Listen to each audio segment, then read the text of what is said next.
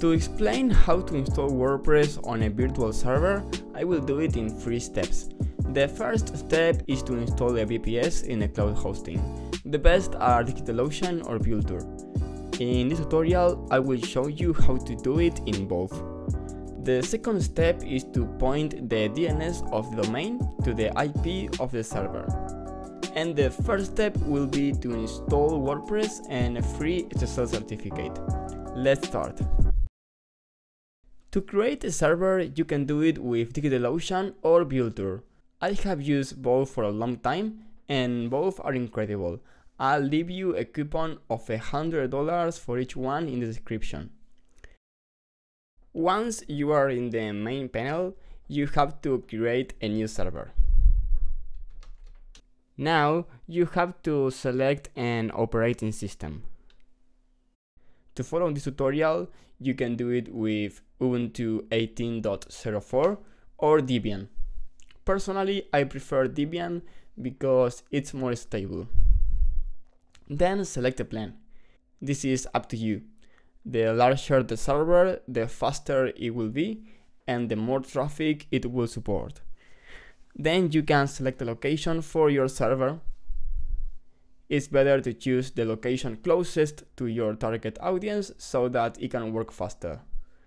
In the case of DigitalOcean, in authentication, you should choose one-time password.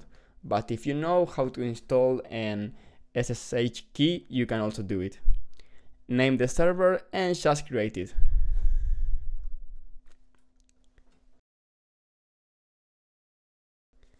Once you have created the server, it will have an IP address. You can see this on your DigitalOcean or Vultr panel. So now you have to point the DNS of your domain to the IP address.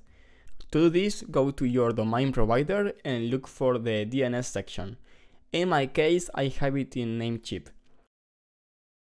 Now you have to create two A records. Both should point to the IP address of the server. In host name, in one you have to put www and in the other you must leave it empty. Or if you can't, type at.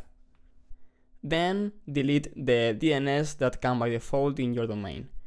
You must wait at least 30 minutes after saving the changes to continue with the step 3. Now that you have the domain pointing to your new server, you must set up WordPress on your site. To do this, go to the DigitalOcean or Vultr console that you will find inside the servers panel. In the console, you must log in with a username and password in Vultr, you will find on your server, but in DigitalOcean, you will receive it on your email. Now, to install WordPress, we will use the WordOps application. This app allows you to install WordPress easily with SSL certificate. You have to run two commands that I'll leave you in the description. The first command you should type is to install WordOps on the server.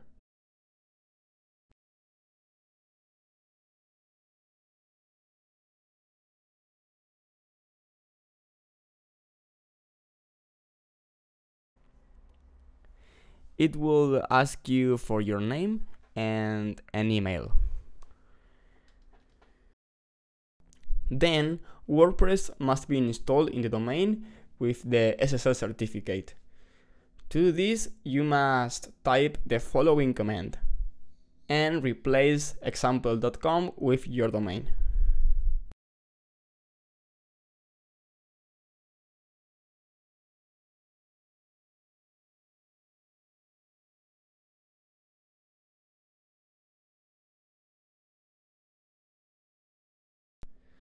And voila!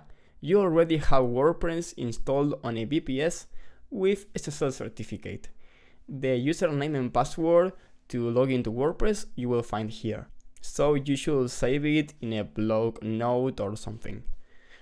Then go to your domain slash wp-admin and you can now start with your new site. That was it. Subscribe to watch more videos like this.